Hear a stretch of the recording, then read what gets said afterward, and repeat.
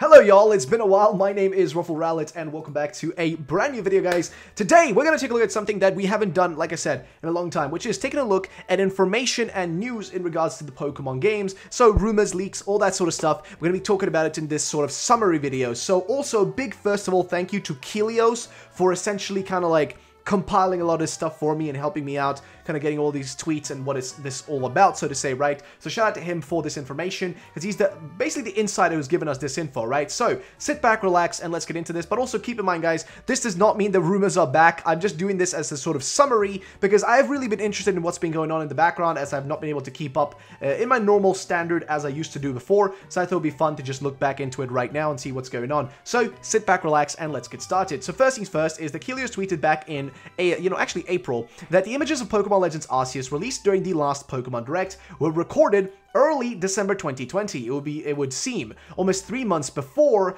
the actual trailer was, you know, shown. Then it continues on, and I'll be, by the way, giving my points and opinions and all this. And for Pokemon Brilliant Diamond and Shining Pearl, the bulk of the game is over. They're fine-tuning it graphically and fixing the bugs. The images would be from early January, as we saw them in the trailer. He continues on, and for the release date, BDSP is set, I don't know it yet, and LP, uh, LPA is pending. They'll set it later in the year following the advancement. So basically, once they make more progress. And somebody else, probably waiting uh, the Nintendo OK, uh, do not disturb the holiday, big game, I guess. Yeah, Nintendo has certainly planned to release a big game early 2022. I'm wondering what it is. Well, that's a good question. Is it going to be Breath of the Wild 2? Nobody knows. Is it going to be something else? No clue. Guess we're just going to have to wait and see, so to say. And of course, Centro kind of quote tweeted and just kind of pointed out a lot of this information that, you know, just was given to us by Kelios. So shout out to Kelios for this info. Um, I'm going to get to that in a second. But yeah, shout out to Kelios for the info. He just kind of like, you know, Sanchez just kind of like paraphrase it here uh, so we don't have to translate it, saying that Pokemon Legends footage used in the Pokemon Present was apparently captured from a build from uh, December 2020. Uh, so that is why, you know, like maybe some things look a little bit jagged. I did hear somebody mention that there is a possibility the reason that the footage looks kind of laggy and there's FPS drops in the game is actually an aesthetic choice, which I don't know about that one, Chief. Uh, it could be a choice that they aesthetically made so that like the frame rate of the characters is low lower uh, for whatever reason. Uh, I think there are a few games that do something along that, like along those lines, right, for like aesthetic purposes. But I don't see why a Pokemon game like that or a game in general like this with, you know, Pokemon Legends Arceus would require something along those lines. It just doesn't really make a lot of sense, does it, right? Just seems a little bit off, if I may say so myself.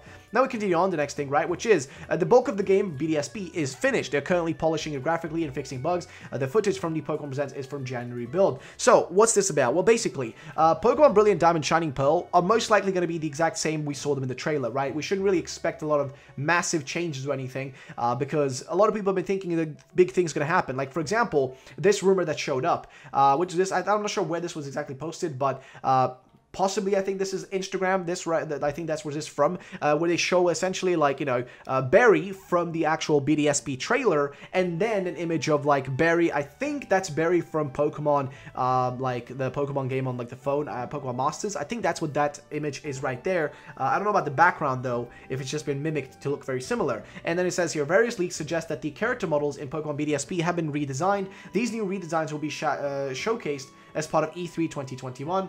Uh, and then, you know, this is uh, pointed out by Kelios here. This is a bad, bad, bad rumor. Don't expect big changes. And then somebody said, I don't believe it at all. Six months from the release, lol. Uh, the game is almost over. They won't have uh, fun changing at the last moment. Exactly. So there's no way they're going to be making that big of a change, uh, you know, to the game in the short space of time. You know, there's no way. It just doesn't make any logical sense. Like, just make the make the logical thinking here, right? What would their logical like, you know, what would be logically logically the most most smart thing to do here, right? Which is just to continue what you already have because people are gonna buy it no matter what, right? People are gonna buy the game no matter what you do. Um, and then there's more from Kelios, which is BDSP date is already set. Pokemon Legends date is still uh, undefined, but should be defined later this year. Says that, uh, says that Nintendo has another big game for early 2022. Now, of course, you know, what that other big game might be for, you know, like, you know, early in the year of next year, no clue. Uh, if that's like, you know, if that's what he's saying here, if Kelios is like pointing that aspect out, no clue. But whatever it is that we might be getting next year, we'll just have to wait and see whatever's going to be popping up early next to Legends Arceus. As for what else we might get at the end of this year, that as well is really up in the air as for possibilities. So just keep that in mind, right?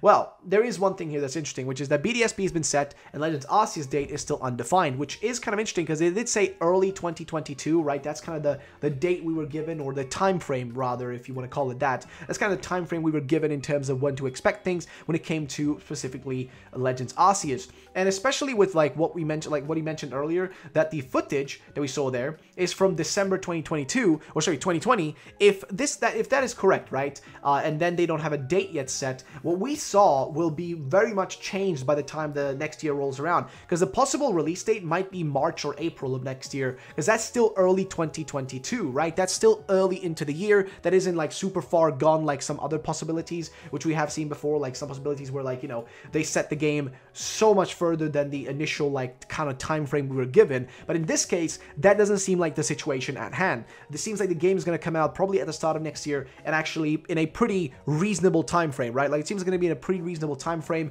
in terms of everything. So just keep that in mind. But yeah, so um, I can pretty much just like uh, point out the last thing here, which is this was by Centro kind of pointing this out that new reports from Bloomberg about the upcoming Switch revision will use NVIDIA's DLSS uh, to upscale resolution to 4K, better CPU, increased memory, price expected to be around 350 to 399 dollars, and reiterates bigger 7-inch uh, OLED screens. So the possibility of this, like one of these actually showing up, um, you know, is likely and also unlikely at the same time. I don't know how much Nintendo would want to like release another console right now in the midst of, you know, PlayStation 5 and Xbox releasing like what last year uh, with their new consoles. Uh, you know, like just stuff like that, right, might get in the way a little bit. Uh, but at the end of the day, Nintendo kind of rides their own wave. They don't really follow the wave of the other companies. But at the same time, we are still in somewhat of a pandemic, right, which does cause a bit of an issue in terms of production. Uh, you know, just just the manual labor stuff, right? Actually creating the console themselves, right, is a bit difficult because it will require uh, quite a lot from them, right? They'd have to invest into, you know,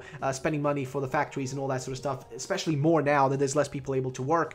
Uh, so, you know what I mean? Like, there is a bit of an issue there with the possibility of this releasing anytime soon, right? When will the revision happen? I don't know. Also, Bloomberg has stated several times in the past that there's going to be a revision, but we've never really seen any information about it. And at the same time, there is a possibility it all is real, but the Nintendo keeps making changes and keeps kind of postponing it because things are stopping them from, you know, kind of like wanting to progress. Also, they could be waiting to release the revision to go alongside very big games, possibly Pokemon Legends Arceus, or possibly you know, Legend of Zelda Breath of the Wild 2. Those two really make sense as the sort of games to kind of like, you know, push with the console because you want to make sure people buy it, but if you bundle it with something else, you know, something that people really want, then people are going to be even more likely to buy it, especially the people that haven't gotten a Switch already, or the people that want another Switch, or the people that maybe lost their Switch, or whatever, like, you know, reasoning might be. You want to give them another incentive, right? An incentive that's really good. And also, if you give them a reason, like let's say Breath of the Wild, right? And then you tell them, guess what? The people who have the new Switch, you know, the improved uh, Switch revision, those who have that one will be able to play the game in this resolution or this increased thing, or you'll have extra access to these things, or, you know, FPS will be higher, etc., etc. And then the people who want it for that reason will go and pick it up. So that's just kind of what I'm trying to point out in regards to that. So yeah, let me just zoom in real quick. And basically what I want to say is, this is some of the information we've gotten.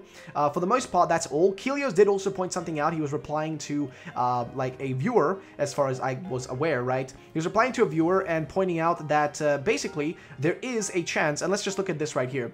Uh, first of all, by the way, also Unite. Unite is going to be getting its like actually a reveal very soon. And what I mean by that is you can see it right here. Uh, if we just kind of zoom out my camera, uh, but basically, Pokemon Unite uh, was it was tweeted by TiMi, which are the company that are making Pokemon Unite, that nothing's more exciting than finalizing a reveal trailer of a franchise beloved for decades. What would that franchise be? Well, it only makes sense that it's Pokemon and Pokemon Unite incoming by Kelios. And then you know he's asking like somebody was asking about is it a reveal trailer? And he says not necessarily this trailer, but as there is a Tencent conference, they will surely talk about it. And also, yeah, it makes sense. Uh, we know that the beta's been out, like what Canada and stuff, the beta for Pokemon Unite. And honestly, where is it? Like it should be releasing by now. I'm pretty sure it should be coming out. And honestly, I wanted to come out because I really do want to stream it. It seems like a game that might be fun to stream. Um, I'm a big fan of MOBAs. I played MOBAs for a large part of my life, so I would definitely jump into it and I will be trying it. I know a lot of people don't like it. I know a lot of people don't like mobile games. I hate Pokemon Go personally, no offense. If you like it, it's you know your own prerogative. You can enjoy whatever you want to enjoy.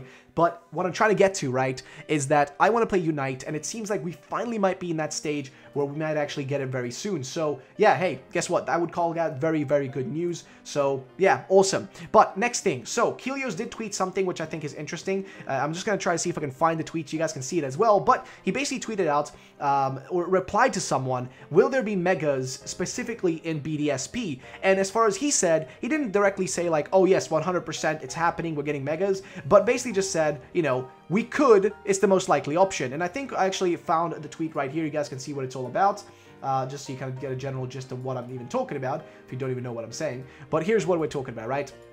So, uh, somebody said, uh, can we expect Mega Evolutions of some sort, or should we expect a plain remake? And then Kilio said, we could. It's the most likely option. So honestly, Megas are the most likely thing to show up in these games, in all honesty. Like, it's just the most logical possible option of what we could get, right? It just, it's the most logical thing on the spectrum of possibilities here, right? It is the one that makes the most amount of sense. So yeah, in terms of information, that's basically it, guys. Uh, I'm not really going to go further into like a bunch of 4chan rumors and stuff because most of those just don't really have a lot of uh, substance as of late. It's been very dry in that area. And honestly, I don't want to cover daily rumors anymore. I want to just provide you guys with the information kind of summarized into a singular video once in a while, right? And this is that once in a while moment where we finally did that again. So that's it for the video, guys. If you did enjoy it, make sure to drop a like down below and subscribe for future content. I'll see you on the next one. Peace out and bye-bye, ladies and gentlemen. Also, by the way, uh, make sure to check out my other content, guys. I would really would appreciate it. I put a lot of time and effort into the other stuff, so please check that out. Either way, bye.